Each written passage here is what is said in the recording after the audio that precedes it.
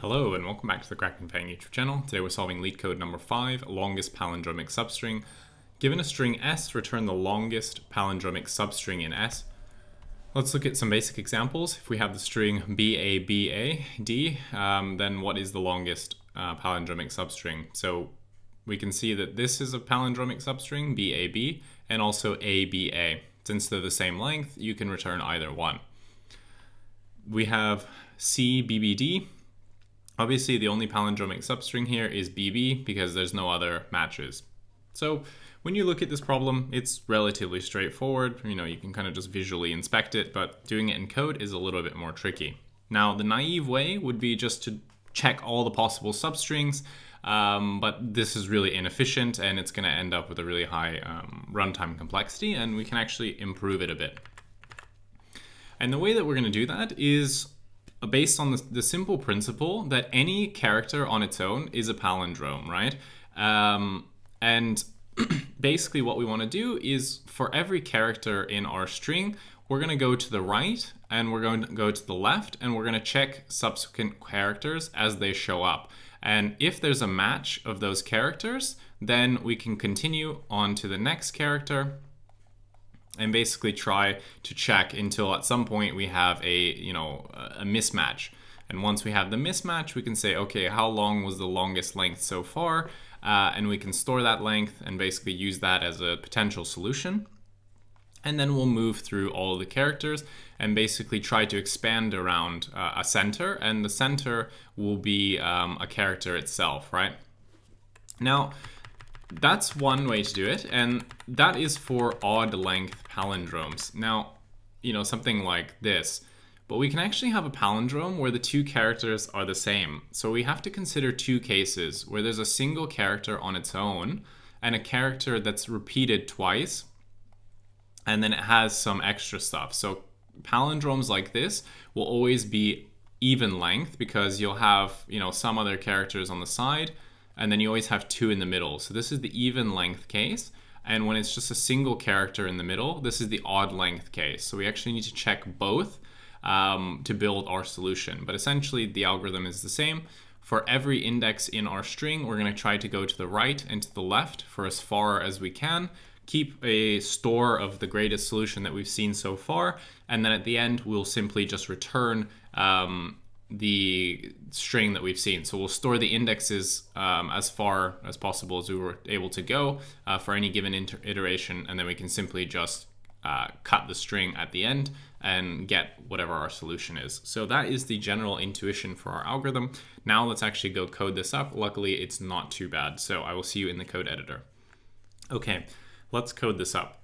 Now, we have two parts here where we want to iterate over our string s and for each character we need to basically expand around the center. Now let's actually define the function which will do the expanding. So basically given a start index we're going to go to the left and the right and compare the values and see how far we can get before there's a mismatch between the left and the right pointer. So we're going to say def expand and this is going to take an i position in our string and a j position. The reason that we don't just have one is because remember we have the case where you can actually have um, two characters next to each other which are the same. So this is the even case. So we need to pass an i and a j. We can't just do uh, one of them. So in this case, um, our left pointer is going to be the i and our right pointer is going to be um, the j. So what we want to do here is we want to say while um, left is greater than zero, oops, greater than or equal to zero, and right is actually less than the length of the string, and the two characters um, pointed at by the left and the right actually equal each other. Uh, we want to keep moving our pointers, uh, the left to the left and the right to the right, obviously, uh, until we get a mismatch or we basically get to the end of the string. So we're going to move uh, left down and we're going to move right up.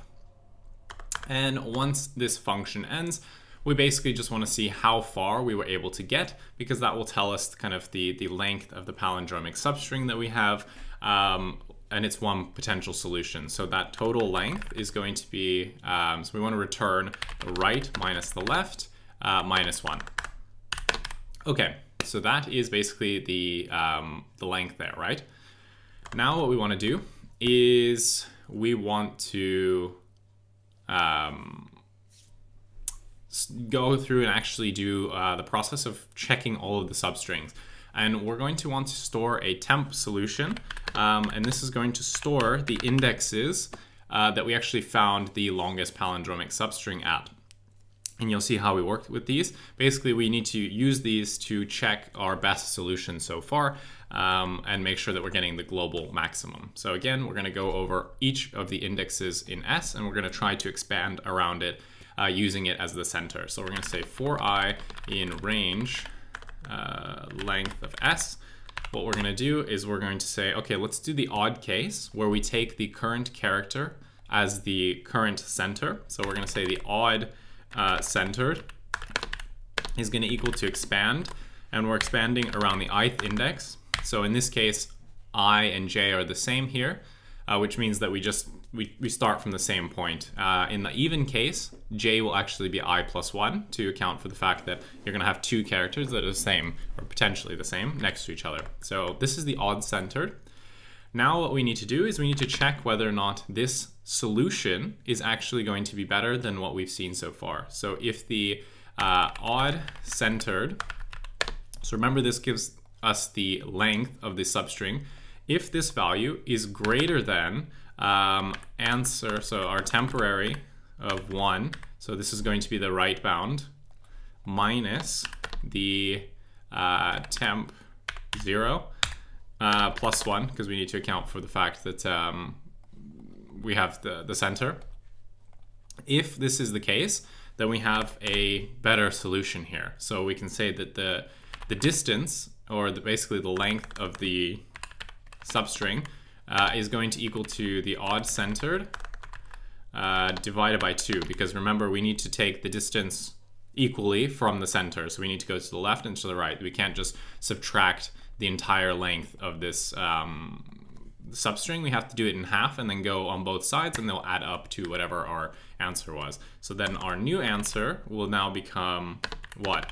i, which is the um, current index, minus the distance, and then we have i plus the distance. Uh, sorry, this is the length.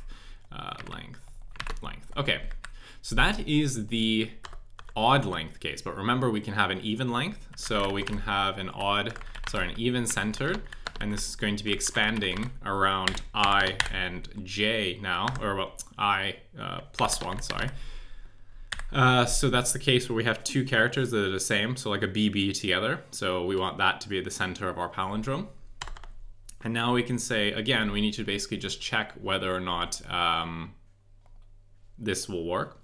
So, uh, sorry, if we have a better solution. So we want to say if the even length is greater than, again, uh, temp 1 minus temp 0 plus 1. So if our new solution here is actually better, shit, even centered, um, then the distance here is now that we have an even length, it's actually going to be the even centered uh, divide by 2 and we need to do minus 1 to basically account for the fact that it's even and that we already have into, into consideration one of the characters in the center uh, otherwise we'd be off uh, by 1 here so that's why we need to subtract 1 and uh, let's just keep the variable names consistent. Let's call it length. Um, let's see. And now the new best answer will be i um, minus the distance, and then it's i plus 1 plus the distance, because remember, um, we're including i and i plus 1 in the center, so that's why it's i plus 1 here. Um, otherwise, once this for loop ends, all we need to do is simply just get our uh, string, so we need to slice the string to actually return it. Uh, because we're not returning the indices, we're actually returning the palindrome itself. So we're going to say that ij is going to equal to ands. So this is, sorry, uh, our temp. Ah, shit, this is temp as well. Sorry. When I did this originally, I had some different variable names, so just keeping them consistent. Sorry about that. Uh, okay, so now this is it. So all we have to do now is simply return s from i up until j plus 1. And that should be our solution. Hopefully I didn't mess up the variable names. Uh, yeah, of course I did. Ugh, sorry. I had different variable names before. Length, and length. Okay, do I have any distances in here? Okay, should be okay now. Uh, okay, cool. Let's submit that. And cool, accepted. So, time and space complexity.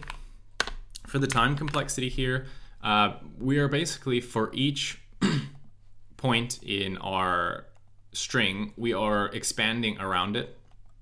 So in the worst case, um, this is going to be a big O of n squared time complexity because we'll, for each index, we could potentially have to go through the entire um, string. So for example, if the entire uh, string was just the same character, then it doesn't matter where you start. Well, the worst case would be in the very middle. Uh, you'd basically have to check the entire string um, with your function here. So that would be big O of n squared. For the space complexity, we only have some pointer variables and this array, it only stores two items. So our space is actually going to be uh, big O of one. So that is how you solve it using kind of this expanding around the centers approach. I do want to mention that there is an algorithm which actually runs in big O of n time. I, it's some esoteric algorithm that I've never heard of before. It's like Manacher's or something. Um, probably most people won't know it. This is much easier to um, reason about. The downside is that while you do um, get big O of O, big O of n runtime, you also have big O of n uh, space complexity. So it's a trade-off. This algorithm that we've implemented is a little bit slower, but it's constant space, whereas the other one is faster, but it's also linear space. So depending on the problem, if you actually know the other algorithm, Manacher's, I think it is, um, then you can weigh this with your interviewer and figure out which one to use. Um, I've gone with this one because it's much easier to follow and you know intuitively. Um, so that's why I opted for this one. Anyway, hopefully you, you enjoyed the video. Hopefully you learned something, and I will see you in the next one. Bye.